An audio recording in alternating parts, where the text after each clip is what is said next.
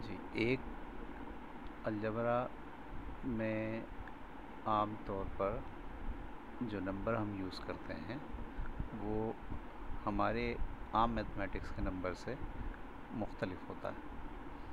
यानी अलजबरा का एक नंबर आम अर्थमेटिक्स के एक नंबर से मुख्तलिफ़ है। ये हमें समझना ज़रूरी है। अलजबरा का एक नंबर चार चीज़ों पर मुश्तमिल होता है। फॉर एग्ज़ाम्पल अगर मैं लिखूँ आपके सामने।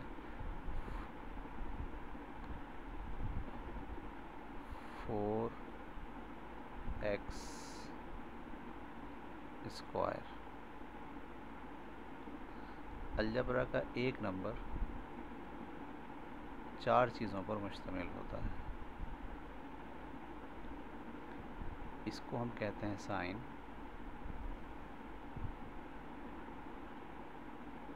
इसको हम कहते हैं कोफिशेंट।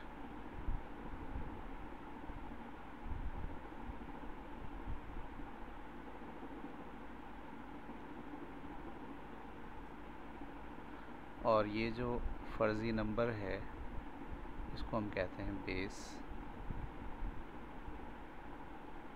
और ये जो बेस के ऊपर हम देख रहे हैं, इसे हम कहते हैं पावर।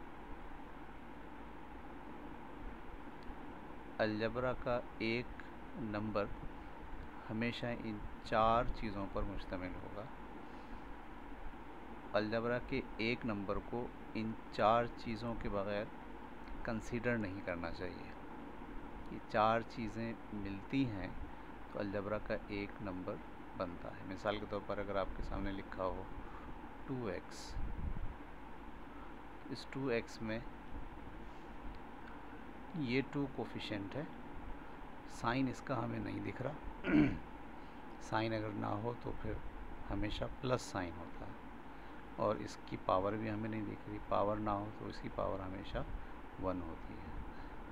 हमेशा अलजबरा को जब भी हम कंसीडर करेंगे तो उसके एक नंबर में इन चारों चीज़ों को रिकग्नाइज़ करेंगे कि उसकी कुछ ना कुछ साइन होगी। कुछ ना कुछ कोफिशेंट होगा। बेस तो लाजमी होगा, क्योंकि अगर बेस नहीं होगा तो अलजबरा ही नहीं होगा। यानी वो अननोन नंबर जिसके लिए आप इसको अलजबरा कह रहे हैं। और अन बेस के ऊपर जो चीज़ होगी उसे पावर कहेंगे। इसी तरीके से अगर आपके सामने ये लिखा हुआ माइनस का पी की पावर थ्री हम इसमें देखें अगर और से तो हमें साइन दिख रहा है बेस दिख रही है और पावर दिख रहा है। लेकिन इसमें कोफिशेंट हमें नहीं दिख। तो जब भी कोफिशेंट नहीं होगा तो हम समझेंगे कि यहाँ कोफिशेंट एक है। यानी जब भी साइन नहीं होगा तो साइन प्लस माना जाएगा और कोफिशेंट नहीं होगा तो कोफिशेंट हमेशा वन माना जाएगा।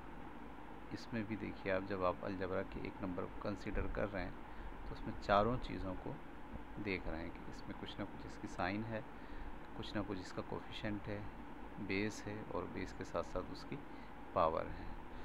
अगर आपके सामने सिर्फ़ लिखा हुआ हो, ए तो ये एक अलजबरा का नंबर है। इसमें भी ये चार चीज़ें हमें कंसीडर करना ज़रूरी है।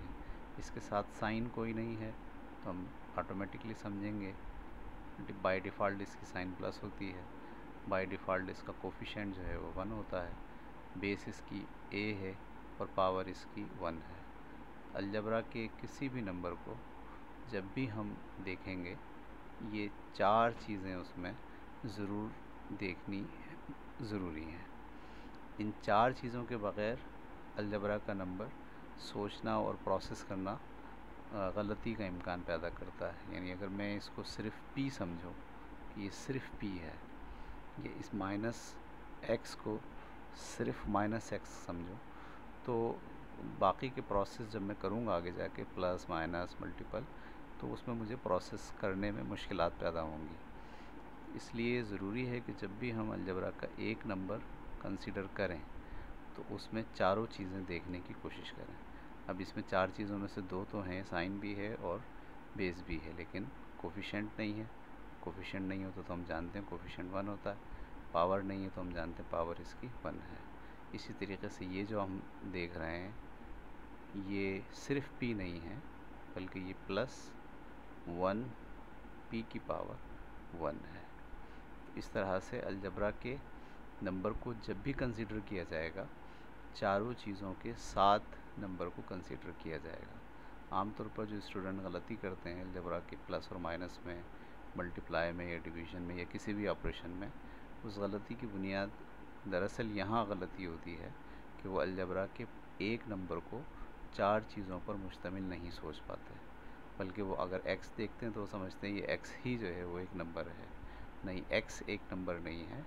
जब भी अलजबरा का कोई नंबर कंसीडर होगा, सोचा जाएगा, उसके साथ उसकी साइन भी सोची जाएगी, उसके साथ उसका कोफिशेंट भी सोचा जाएगा, उसके साथ उसकी पावर भी सोची जाएगी।